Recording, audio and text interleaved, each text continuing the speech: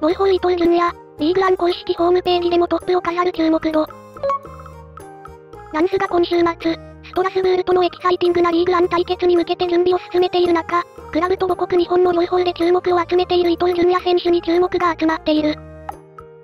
伊東は最近日本代表として注目を集めており、試合で大きな役割を果たしている。彼はシリア戦で4アシスト、チュニジア、トルコ、ドイツ戦で得点、カナダ戦でもアシストを記録したマエストロだ。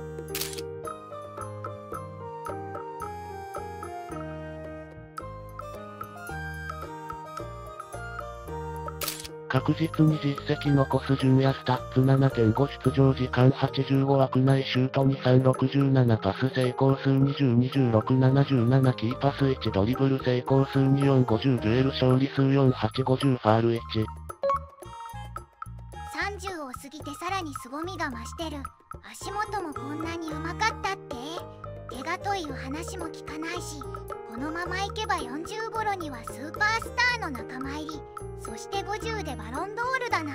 笑い年齢的なものは除いても伊藤は久保や三笘と同様にもっと世界で脚光を浴びるべき選手だと思う。前にバンインとも取り上げられてたし完全にリーグワンの顔だな滝もそうだしリーグワンでは無双してるけど、ますますプレミアで見たい。